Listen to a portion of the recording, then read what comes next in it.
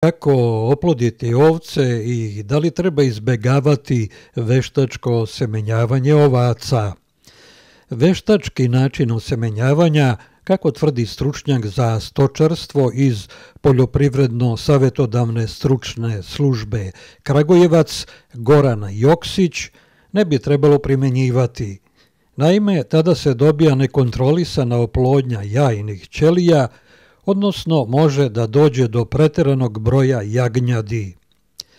Ovca se iscrpi, često se dešava da dođe do nekih anomalija i kod ovce i kod jagnjadi, kaže Joksić.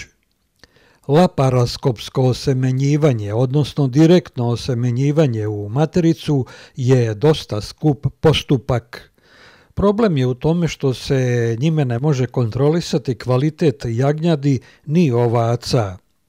Zanimljivo je da je osemenjivanje ovaca svežom spermom u 60 do 80 uspešno, dok je u duboko zamrznutom uspešno svega 30 S druge strane, veštačko izazivanje estrusa može da dovede do hormonalnog poremećaja, jer kako je izjavio Joksić, sunđerčići koji se stavljaju umaču se u hormone, te se na taj način veštački izaziva indukcija i nije toliko uspešno koliko se misli, niti je zdravo za životinju.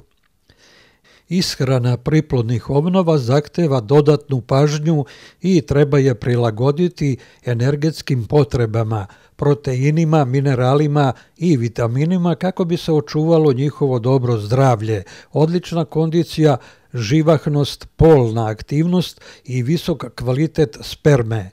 S obzirom na to da se u našoj zemlji sve više upotrebljava veštačko osemenjavanje ovaca, veoma je značajno da se što bolje iskoriste visoko kvalitetni ovnovi. To se može postići samo ako oni daju velike količine kvalitetne sperme kojim bi se mogao da oplodi što veći broj ovaca. Bez adekvatne ishrane, međutim, ne samo da se to ne može postići, već se ni ovnovi ne mogu održati u dobroj priplodnoj kondiciji. Zbog toga se bar na mesec dana pre mrkanja mora obnovima davati dodatak koncentrata, smeša od dva dela po zapremini ovsa i jednog dela mekinja može da zadovolji potrebe ovnova u to vreme. Ukoliko se ne raspolaže mekinjama, dobar bi bio i ovas. Ako je ovan mršav, onda je bolje načiniti smešu u pet težinskih delova kukuruza, deset delova ovsa, tri dela pšeničnih mekinja i dva dela lanene sačme ili nekog drugog belančevinastog koncentrata slične vrednosti. U sezoni mrkanja kvalitetnim priplodnjacima treba davati i takve belančevinaste koncentrate životinskog porekla kao što su obrno mleko, jaja i slično ili visokovredne krvne smeše. U zavisnosti od kvaliteta dnevna količina koncentrata u obruku priplodnih obnova može da iznosi od 750 grama do 1 kilograma. Van sezone mrkanja priplodni ovnovi mogu da se hrane.